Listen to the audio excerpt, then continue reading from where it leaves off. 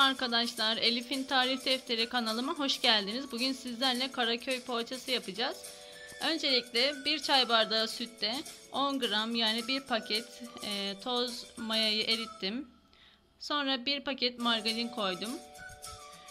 2 yumurta kullanıyorum. Yumurtanın bir tanesini e, üzerine sürmek için ayırdım.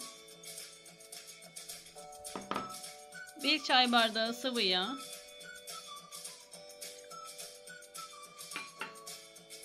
2 yemek kaşığı şeker, 1 tatlı kaşığı da tuz kullanıyorum. Unumuzu da 5 su bardağı burada ayırdım. Öncelikle bunları eriteceğim, yoğuracağım. Daha sonra unumu ekleyeceğim arkadaşlar. Hamurumu bu şekilde hazırladım arkadaşlar. 5 su bardağı unla tamamen yoğurdum hepsini. Bu şekilde yumuşak bir hamur elde edeceğiz. Fazladan un eklemeyin. Şimdi 45 dakika e, mayalandırmaya bırakacağız. Daha sonra görüşürüz tekrar. Poğaça hamurum mayalandı arkadaşlar. Şimdi mandalina büyüklüğünde alıp yuvarlayıp tepsime dizeceğim. Üzerine de yumurta sarısı süreceğim. Ben sade yapacağım. Siz isterseniz içine peynir de koyabilirsiniz. Şimdi mandalina büyüklüğünde alıp yuvarlayacağım. Poğaçalarımı yuvarladım arkadaşlar. Üzerine yumurta sarısı sürdüm.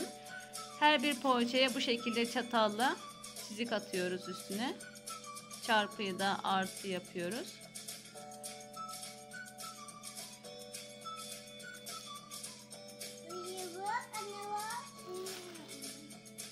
Gördüğünüz gibi hepsinin üzerine bu şekilde yapıyoruz arkadaşlar.